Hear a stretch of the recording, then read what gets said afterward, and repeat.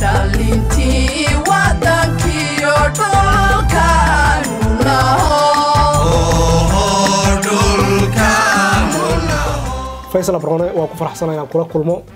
Ugu horeyn waxaan jecelaha inaan ku weydiiyo tabashada mujtamaca soomaalidu ay qabaan iyo diidmada qarannimadooda maxaad arintaas nooga sheegi kartaa bismi illaahi raxmaan iraxiim aad baan kuu salaan walaal ayaan leh.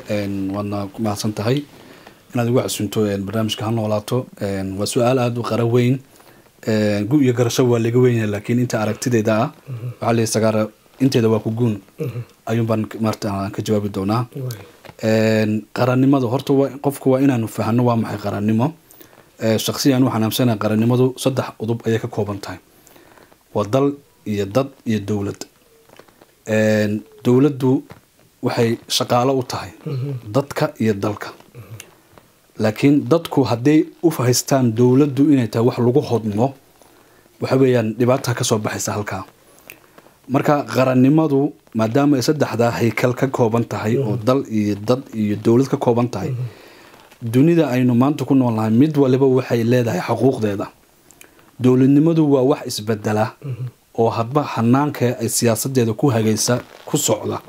Laakiin dadka iyo dalku waa waxa mar walba nagaada oo sii jooga. Wuxuu noqdaa waxaa la yidhaha soomaalida qofkan ciyaarta aqoon wuu dhabqiya. Qofka hadduusan garanayn kaalinta uu ku leeyahay qarankiisa wuxuu noqdaa qof wax dhabqiya. Taasaana marka sababayso in qofkan uu miisaami kari waayo qarannimada iyo qabyaalada waxay tahay ama qabiilka waxay tahay. Marka hadda laga hadlo xaaladda soomaaliya waxaa la leeyahay soomaaliya inay burburto waxaa ugu wacan dadka soomaalida ah oo isku qalday dantii qabiilka iyo dantii qaranka. Halka ay ahayd qofka soomaaliga ah inuu qarankiisa wax ka taban karo laakiin aanu diidi karin. Tabashadii meeshii qofkii wax taban jiray waxay isku badashay inuu diido oo aada maqlaysa afar labaatan saac. Soomaaliya way sii kala gogoysaa qolaa shiraysa waxay leedahay dowladda xiriirkan u jarnay soomaalinimada waa ka baxnay qarannimada waa ka baxnay. Marka arrimahaas maxaa keeni kara? Waa iyadana waa su'aal muhiim ah runtii oo u baahan in meelo badan laga joogsado. Waxay dib ugu noqonaysaa xaqiiqdii markaynu isbarbar dhigno waxaa jira waxa layidhaha halbeeg wax lagu cabiro halbeega qofka wax lagu cabiro haddii uu aragtidiisa ay ku jaangoon tahay mid qabyaaladeed marna ma dhacayso inuu qaab qaran u fakero qofkaasi. Qofka mar haddii uu qaab qaran u fakari karaynin misna uu waktiga iyo waayaha u saamaxay inuu u hadlo reerkiisa ama qabiilkiisa way adkaanaysaa in markaa la helo dad maskax fayoow oo caqli iyo garasho la soo miiray ah in la helo way adkaanaysaa. Laakiin qaranka iyo qabiilka waxaa udhexayso muddo dheer ayaa ama wado dheer ayaa udhexaysa waxaa kow ka ah horta fahanka waxa aad ka guurayso iyo halka aad u guurayso qabiil baad ka guurtay qaran baad higsanaysaa maba garanaysidba qaranka waxa uu yahay. Markaa waa aniga kule ama caaqil ama suldaan ama garaad ama malaaq ama ugaas ayaa kuu talinayay taladoodana waxay ku jaangooneed beesha ama seeska hoose. Laakiin maanta waxaa loo baahan yahay in qofka aad wax la qaybsanayso uu noqdo qof ka fiiro dheer. Dadkii adiga ku hogaaminaya ama aada hoos joogtay. Waayo waxa weeyaan geedku marna waa la dhisaayo waa la waa la shakaalayo waa laan. Marna wuu weynaadayo wuu gaheerayo laamo badan oo millions ayuu noqdaa.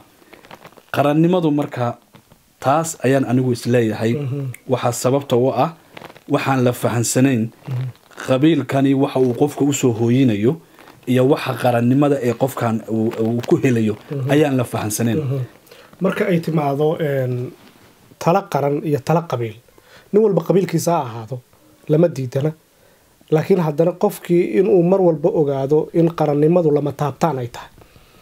Ayaa ayaa muhima ila tahay oo kaba soo qaad haddii qofku ku qanacsan yahay qabiilkiisa oo uu kala saari waayo muhiimadda qaranku leeyahay qabiilkaaga waa muhiim laakiin qarankaa ka muhiimsan. Sidaas haddii dadka soomaalida loogu sheegi lahaa oo la dhihi lahaa qarannimada ilaaliya mar walba waxbaa badbaadi lahaa. Maxay kula tahay in mar walba dad aan waxba ka aqoon qarannimo iyo dowladnimo ay dadka ku halkacsadaan maamulo ay samaysteen oo qabali ah aad ujeedid inuu qabiil yahay. Dadkina ay aqbalaan. Oo mararka qaar xitaa maamul yar oo meel ka dhisan la yidhahdo qaranaan nahay oo dadkii si ay ku aqbalaan oo ay isaga darsan tahay qarankii iyo haybtii. Waa hagaag waa su'aal kaloo iyadana aada u wacan. Taasi waxaan ku soo afmeeri karaa ama aan u arki karayaa. Waa aniga marka horeba ku qofka marka la kobcinayo maskaxda marka laga korinayo waxbaa la baraa. Qofka waxaa la baraa wax uu hadda qabsan karo iyo wax uu berri qabsan karayo. Waa labo marka waa labo arrimoodoo baaxadeedi leh. Laakiin qofka haddaanan waxba la barin ilaa qofka waa aniga kule bili-aadanka marka uu dhasho waa in la anqariyo oo la socodsiiyo oo wax la baro oo haykal lagu beero oo wadaniyad lagu beero. Sababta marka keenayso maamul goboleedyadoo kale ama moorooyinka anigu waxaan ihahdaa moorooyin qabiil. Ma aha maamul xataa maahan waa mooro qabiil uu samaystay oo uu nacayb iyo kala jiidasho iyo sadbursi iyo salow qabiil uu saldhig u yahay. Waayo maamul goboleed dhargey oo baraaray oo qoobabka qumbo la galay ma jiro.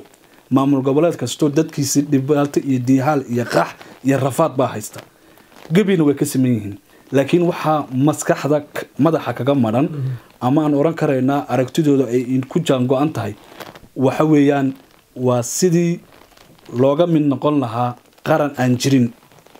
Haddii u fiirso qaran aan jirin markaa le dad badan way la yaabayaan. Qaranka aan jirin waxa weeyaan waa mala awaal waa wax la soo dhisay. Iminka wadankeeni waxaa jira qaran la soo dhisay baa jira oo mala awaal ah oo aanan dadnimo iyo garasho iyo raganimo soomaaliyeed ku dhisnayn. Kaasaa marka wuxuu yahay qaran aan jirin marka dadkani waxay u kala baratamayaan waa qaranka maran ee aan jirin ee beenta ku dhisan oo hidihii soomaalida ka maqan oo dhaqankii soomaalida ka maqan oo asluubtii xataa soomaalinimadii iyo xishoodkii ilaa waxbaa jira wax la yihahdo xeerbeeg xeerin baa jirtay. Qofka soomaaliga ah wax uusan geyn baa jirtay oo ceeb ku ahayd magaciisa qabiilkiisa deegaankiisa iyo magaca soomaalinimeedba taa marka maanta waxay bedeshay wax kasta oo qofka soomaaliga uu xeerinayo oo caab iyo foolxumo ahayd inuu inuu ku noqdo haliyey. Cidda marka haliyey ka dhigayso ee dhinaca kale u rogtayna waa kuwan soo dhoodhoobay ee aan jirin. Marka anigu waxaan oran lahaa qofka sababta keenayso inuu qarankii iyo qabiilkii uu kala saari waayo miisaan ayaanba jirinba. Hadduu miisaan jiro oo baratan jiro oo soomaalinimo jirto waxaa iman lahayd dad asluubaysan oo miid ah oo ummadan hogaamisa soo bixi lahayd. Ummad kasta markay jabto oo ay kufto. Waxa u kaca dadkeeda dhallinyarada gaar ahaan. Maxaa soomaali sidan u galay? Yayse sugaysaa inay maanta soomaaliya badbaadiyaan. Xaqiiqdii horta waxa weeyaan eh, qaranjabku waa wax aada u mug weyn. Caalamka wadamo badan oo waxaa jiray burburay oo dambas noqday oo qaarkood magacii laga bedelay. Soomaaliya waxaa soo maray sideed jab baa soo maray ummadda soomaaliyeed. Sideedda gooree jabtayba rag baa u kacay iyo dumar ishuwan oo ka badbaadiyay nacabkii iyo cadowga ishuwanaa Een, waxaa jira waxa la yidhaahdo anigu deegaankan ka imid waxaa jiro dadka marka laga hadlayo xidigiska ama waxyaabaha maluugta loo yaqaano. Soomaalidu waxay leedahay xidig buuxsama oo uu maqaamkooda ku soo kaco ayaa jira. Dadka qaarkood waxyaaba aaminsan waana waxyaaba taariikhdu ay sheegayso. Qofka in uu badbaadiyo qaranka ama ummadiisa uu badbaadiyana kama timaado meel gooni ah. Waxay ka timaadaa qof kasta oo wadaniyad ay ku nagidahay qof kasta oo wadaniyad calooshiisa ku jirta ama qaluubta ku jirta ayaa ka timaadaa sababaha dhalinyarada keenay in maanta la waayo ama dhalinyarada soomaaliyeed ay umay hanaabayaan soomaaliya waxaa lagu burburiyey qarannimadii soomaaliyeed cudud dhalinyaro iyo caqli oday anigu qoraalaan ka sameeyey. Caqli oday iyo cudud dhalinyaraha wadankii lagu burburiyey. Dhalinyaradii wadankeena lagu burburiyey ee qarannimadeeda lagu burburiyeyna waxay ahaayeen dad dhibanayaal ah iyagaa dhibanayaal ahaa. Dhalinyartii markaa weli waxaa hortaagan kii shalay cadowga u loogayey ama uu u wareemayey ama dhibaatada ku hayay ayaa weli hortaagan kaalin baa jirta marka waxa af soomaaliga waxaa la yidhahdaa kaalin banaanaataa jirta haddii kaalintii inanka dhalinyarada eed u banaaneed aysan jirin oo nin lixdankii wasiir ahaa oo toddobaatankii wasiir ahaa oo sideetankii wasiir ahaa ilaa maalinka maanta wasiir yahay kaalin meel oga banaan ma jirto. Waayo kaalin riixasho ayaa af soomaaliga jirtay. Oo neefkaba marka neefka geela la waraabinayo dee waa in neefka kale uu meesha u baneeyo hadduu laakiin neefkaa meesha weligii taagnaado dee neefkan haraad baa dilaya. Dhallinyarada soomaaliyeed taas waa marka maanta uu haraadka iyo loonka u gowracay ay badaha ugu gurmayaan waxa weeyaan kaalintii wadanku kaga habooneyd ama ay ka qaban lahaayeen ayaa buuxda. Waa gacansaar waa laisdul tuulan yahay. Magaalo kasto intaas oo kun oo gaashaanqaad ah oo garaasho iyo garaadkugu buux ayaa joogta. Laakiin waxay leeyihiin halkii ay ka haaban lahaayeen ama ay ka soo geli lahaayeen. Ah. aad iyo aad baad u mahadsan tahay faysal abroone oo qaybtan aan ku wareysanaynay. Qaybo kale ayaan isku arki doonaa. Hadduu allah awoodila ogolaado aad baad u mahadsantihiin nabadgelyo